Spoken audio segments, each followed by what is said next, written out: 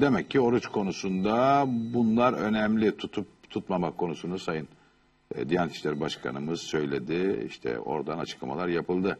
Efendim e, Fransa'ya doğru tekrar bir gidelim. Fransa'da 104 milletvekili Başbakan Edouard Philippe'ye hitaben yazdıkları mesajda ülkede oturum kartı olmadan yaşayan kayıtsız göçmenlere oturum hakkı verilmesi çağrısında bulundular.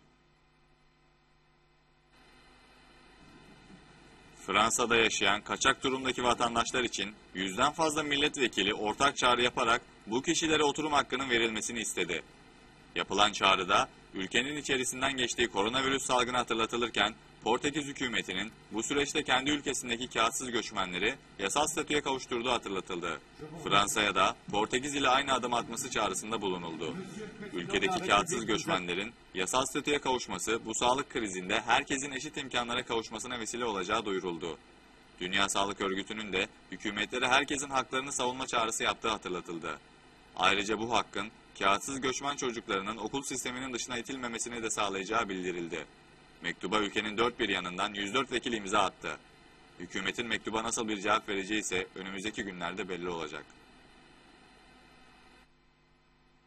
Zaten bu ortamda kimsenin de bir yere kımıldama gitme şansı yok. Çünkü hemen hemen bütün sınırlar kapalı. Ke- Ülkeler kendilerini izole etmiş durumdalar.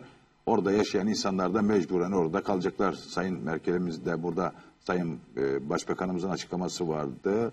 Buradaki Schengen vizesi bitenlerin Haziran sonuna kadar vizeleri otomatik olarak uzatılacak herhangi bir sıkıntı yok demişti. Diğer ülkelerde her- herhalde bunu uygulamak zorundalar.